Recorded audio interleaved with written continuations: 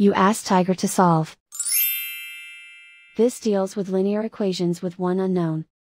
The final result is r equals negative 7. Let's solve it step by step. Simplify the expression. Expand the parentheses.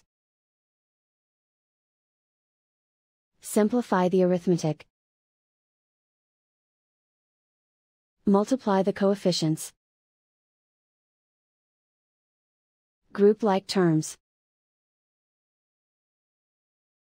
Combine like terms. Swap sides.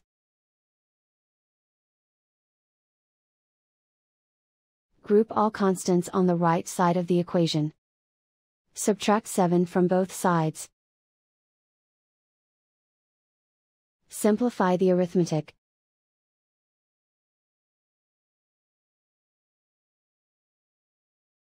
Isolate the r. Divide both sides by negative 39. Cancel out the negatives. Simplify the fraction. Move the negative sign from the denominator to the numerator. Find the greatest common factor of the numerator and denominator.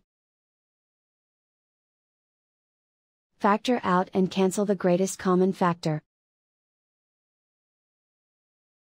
And so the final result is r equals negative 7.